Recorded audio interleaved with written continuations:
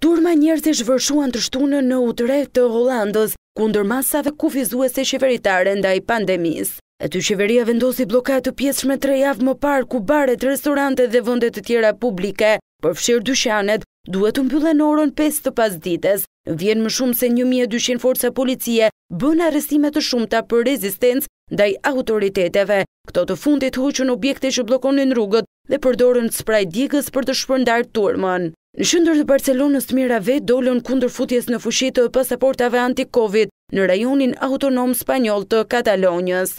Ligji për virusin hyri në fuqi të shtunën pasi gjykatat autorizuan një kërkesë të bërë nga pushteti lokal. Në Paris, mijëra qytetarë mes të cilëve punonjës të shëndetësisë protestuan para Ministrisë së Shëndetësisë për të kërkuar dhënien fund të bllokimit të shtretërve në spitalet publike si dhe për kushte më të mira pune.